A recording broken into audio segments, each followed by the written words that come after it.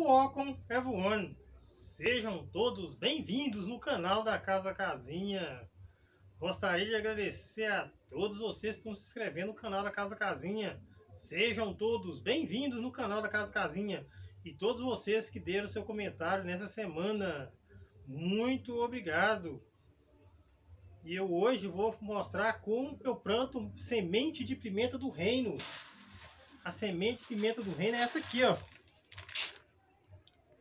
Vai dar para vocês verem aqui, deixa eu ver. É, deu para ver. Então essa aqui é a semente da pimenta do reino. Como tá plantando. Eu vou estar tá falando, mas antes disso, gostaria de avisar a todos vocês que eu estou, que eu vou sortear. Quando chegar a 2 mil inscritos, eu vou sortear essa muda de samambaia Amazonas, tá? A samambaia Amazonas chega a mais de metro de comprimento. Que eu tenho ela aqui, ó. Vou mostrar para vocês aqui essas folhas aqui folhas de mais de metro de comprimento. Então, eu vou estar sorteando para você concorrer esta muda de samambaia Amazonas. Os requisitos. Primeiro, você deve estar inscrito no canal do Casa Casinha. Dá o seu like, assistir o vídeo início ao fim. Dá o seu comentário lá. Quero concorrer uma muda de samambaia Amazonas e também assistir o comercial do início do vídeo. Quando tiver 2 mil inscritos, vamos sortear a muda Samambaia Amazonas, tá bom? Então, como aumentar sua chance? Quanto mais você assistir vídeos do canal da Casa Casinha, dá seu like e colocar gosta, como diz, quero concorrer à muda Samambaia Amazonas, você já vai estar concorrendo. Eu vou mandar uma mensagem Parabéns, você já está concorrendo. Tá bom? Então, vamos lá, né? Como tá plantando semente de a semente aqui de pimenta do reino. Vamos aqui. Primeiro eu vou mostrar para vocês algumas mudas que eu tenho aqui.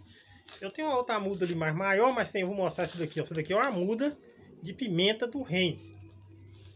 Essa daqui eu tenho essa outra muda aqui também. Essa aqui tá bem maior e já tá produzindo. Que é essa aqui, ó. Tá vendo os cachos aqui? Essa aqui é a pimenta do reino, já tá produzindo. Vou dizer que ela, bem dizer, produz quase o ano inteiro. Que eu tô tendo ela aqui, ela já tá produzindo, bem dizer, o ano inteiro. Isso aqui também é a muda. E aqui está minhas mudinhas que eu plantei há 30 dias. Essas aqui, ó. Ela sai tipo uma cruzinha. Mas ela tá saindo aqui, aqui, as mudinhas aqui. Mas tem umas mudinhas de goiaba aqui. Essas mudinhas aqui, ó. Separar aqui da minha mão, que é uma mudinha de goiaba. E essas aí é a mudinha de pimenta do reino. Olha como é que ela nasce. Né? Aí está aqui, minha mudinha de pimenta do reino. O que, que eu vou usar aqui para implantar? Sabendo nós, né, igual falando para vocês aqui, a pimenta do reino não gosta de solo encharcado. O solo deve ser bem drenado, tá? Bem drenado. Se o solo encharcado, ela pudesse. E também a pimenta do reino, ela se dá também por estaca. Você pode estar tá arrancando, é, cortando por estaca. E tá plantando também. Mas como meu pé aqui tá bem pequeno, tá pequeno, então não tem estaca. Já tirei uma estaca dele. Parece que ela já até pegou. Já tirei uma estaca dele, mas ela se dá por estaca.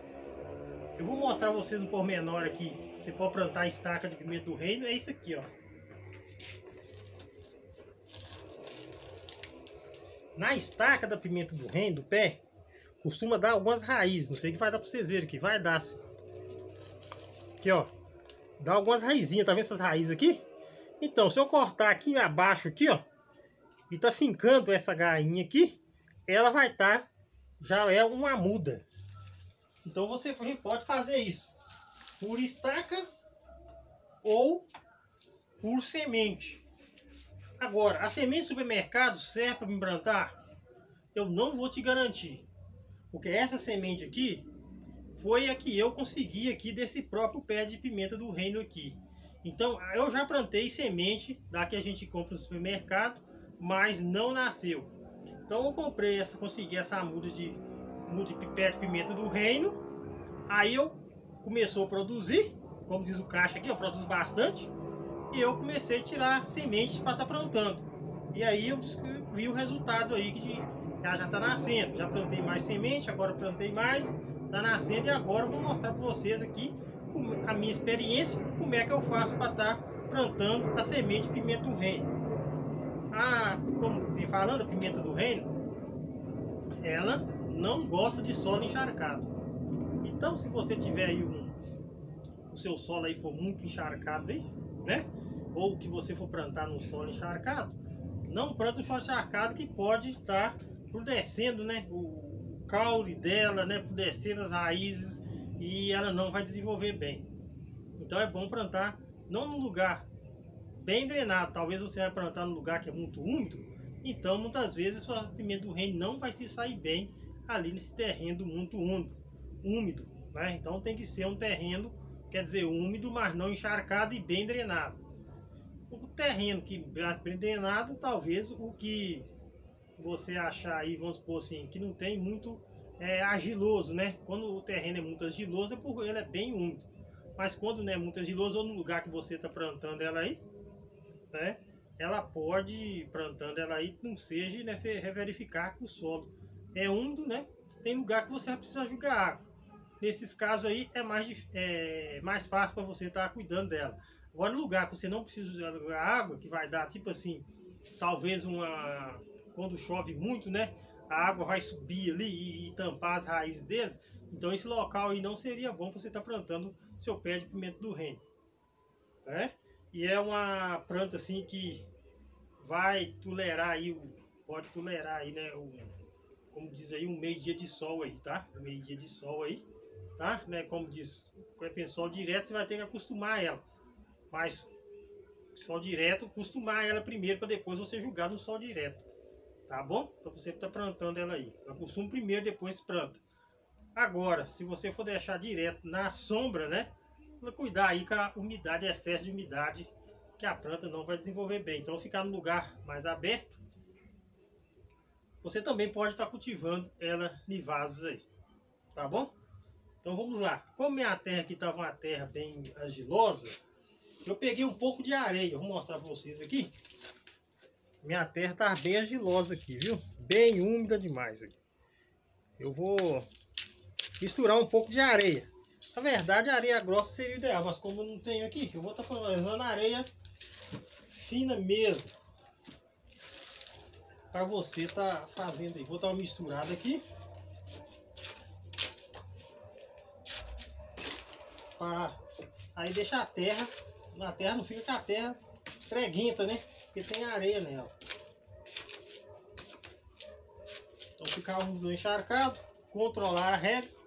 Tá misturando aqui a terra com a areia. E vou estar usando aqui também, aqui, ó, a serrapilheira, que é uma resto de matéria orgânica, né?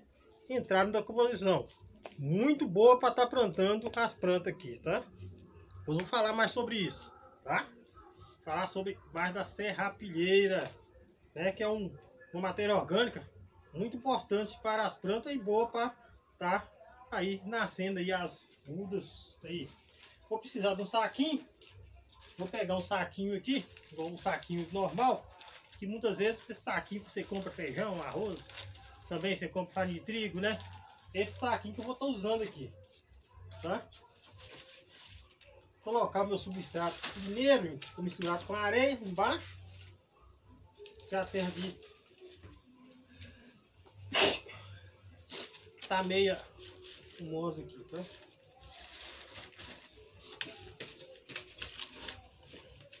Aí vai ajudar aqui. Tá plantando aqui a, a semente aqui. Então essa semente aqui foi o que eu mesmo cultivei. Aí você toma cuidado um pouco aí. Porque é atacada com doença, viu? Ataca muito doença, ataca a doente aí. E você é bom você ter consigo aí, sabe, né? A cauda bordaleza. Já tem vários vídeos aí falando, eu falando sobre a cauda bordaleza, tá? você pode estar tá utilizando aí para estar tá pulverizando suas plantas aí, tá bom? Calda fortaleza. Coloquei aqui já um, um pouco do substrato meu aqui, né? Coloquei aqui misturado com areia, mais embaixo, meio saquinho aqui. E eu vou completar com a camada aqui de, de, serrapilheira. Aqui tá, vou mostrar um saquinho aqui, tá vendo aqui, ó? Tá aqui esse tanto aqui de terra, misturado com areia, né? E agora eu vou colocar a serrapilheira aqui. Vou colocar a serrapilheira.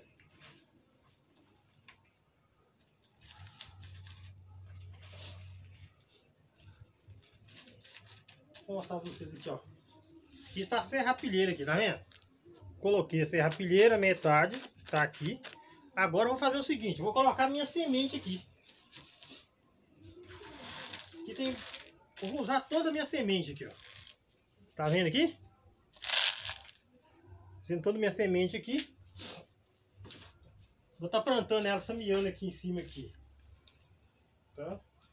Também cuidado com as largatas, tá? Muitas lagartinhas, elas acabam comendo, né, as, as mudinhas que vai sair. Então a gente tem que ficar de olho. Igual a minha mesmo aqui, ó. Plantei no saquinho aqui. Um aqui, ó. A lagartinha já, já até comeu aqui, né? Comeu a... Vou mostrar aqui, aqui, ó. Tá vendo aqui? Uma largada veio comeu. Então a gente tem que ficar muito cuidado. Nasceu umas mudinhas de goiaba aqui também. Mas deixa eu ver quantas mudinhas tem aqui. Contando aqui, uma, duas, três, quatro, cinco, seis, sete, oito, nove, dez, onze, doze, treze, 14, 15, 16. 16 mudinhas que tá aqui, mas algumas podem morrer. Então, lembrar aqui, ó. Deixar o saquinho bem furado, tá? Bem furadinho mesmo. Para que sobrar, vai embora. Porque senão a semente vai estar, tá, a muda vai melar e vai descer e vai morrer. É isso que eu tô falando com vocês, que eu já passei por experiência aqui. Então eu plantei, aconteceu de algumas mudas minhas morrer. Aí eu mudei o jeito de plantio. Agora eu já joguei a semente. Não sei que vai dar pra vocês verem aqui. Ah, tá dando pra ver assim aqui, ó. Essa aqui é a semente de pimenta do reino. Tô colocando aqui. Agora eu vou fazer o seguinte aqui, ó. Vou fazer a forragem aqui, ó.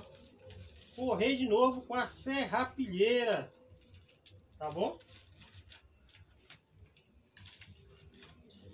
E eu forrei com a serrapilheira aqui, ó.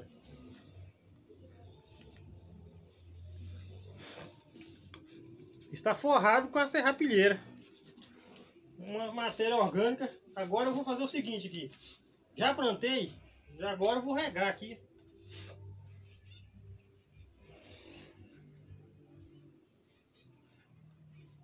Vou dar uma regada. Dar uma umedecida, já deu uma regada. Agora, eu vou estar tá colocando ela num local ali, não precisa ser no sol direto ou na meia sombra, meio sol. Pode ser meia sombra, meio sol, né? Você pode colocar e ficar de olho, regando. Daqui 30 dias, por mais ou menos aí, sua, sua semente vai estar tá nascendo aí. Agora, qual o melhor dia para plantar essa semente? Eu uso aqui a lua crescente, o melhor dia, que vai dar mais força para ela estar tá germinando e crescer tá bom? Eu uso aqui a lua crescente aí. Tem outros dias de plantio também, mas vou dar na lua crescente que você não vai errar. Primeiro dia da lua crescente, você pode estar tá plantando sua semente do reino aí. Se ela tiver uma semente boa, ela vai estar tá germinando aí, igual essas mudas minhas aqui que germinou aí em 30 dias aí, tá bom?